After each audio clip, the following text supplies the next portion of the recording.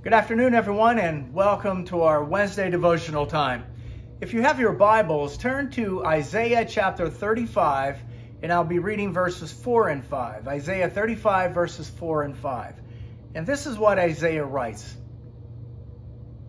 Say to those who are of a fearful heart, Be strong, do not fear.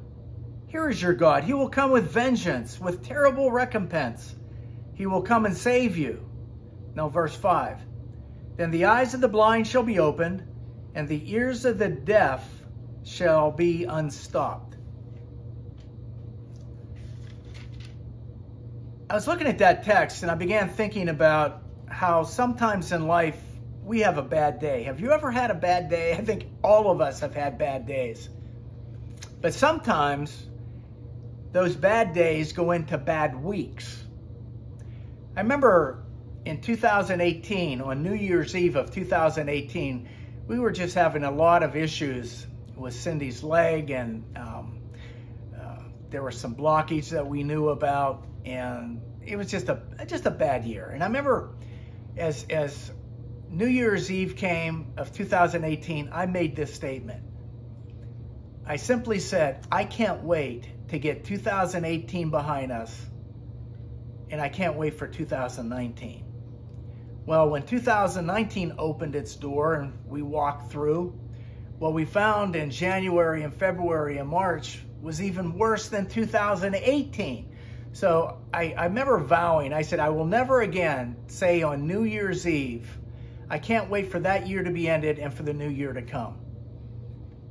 Simply, we just anticipate for a new year to come. We hope good things will come but not necessarily. And again, it comes back have you ever had a bad day? Israel, the nation of Israel, is having a very, very bad day, the people of God. And what's interesting about this text is that there was an army, and it was the Assyrian army that was just pounding away at Israel. They're praying, please God, help us. Please God, save us. And the Assyrian army is just just decimating uh, the people of Israel. And all seemed hopeless. But then God sent a message to his people Israel through the prophet Isaiah. And again, it's that passage that I just read to you where, where he says, Say to those who are fearful, uh, of, who are of a fearful heart, be strong, do, do not fear. Here is your God. He will come with vengeance, with terrible recompense. He will come and save you.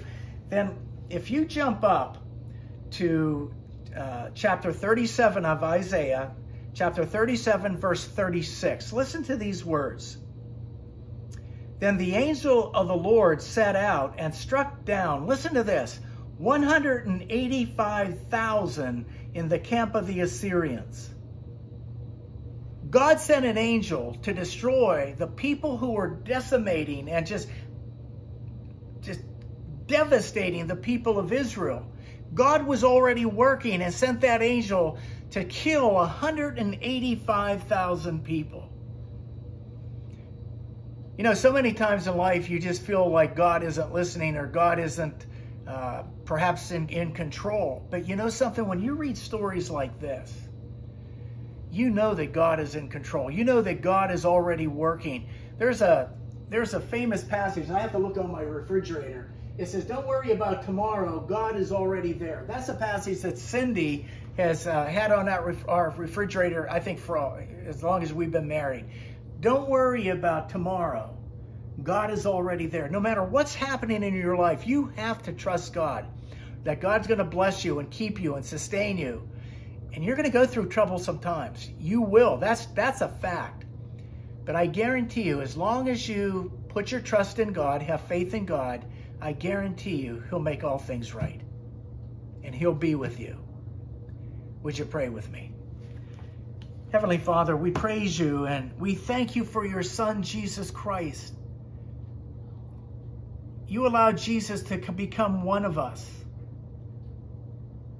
And all we have to do is believe and have faith in him. For God so loved the world that he gave his only Son, so that everyone who believes in him may have eternal life. That's who God has sent to us. And we have to believe and accept him as our Lord and Savior. And I guarantee you, when you go through those troublesome times in life, you will be blessed. Will you join me in the Lord's Prayer? Our Father, who art in heaven, hallowed be thy name. Thy kingdom come, thy will be done, on earth as it is in heaven. Give us this day our daily bread, and forgive us our trespasses, as we forgive those who trespass against us. And lead us not into temptation, but deliver us from evil. For thine is the kingdom, and the power, and the glory forever. Amen. I'll see you all tomorrow night. God bless you.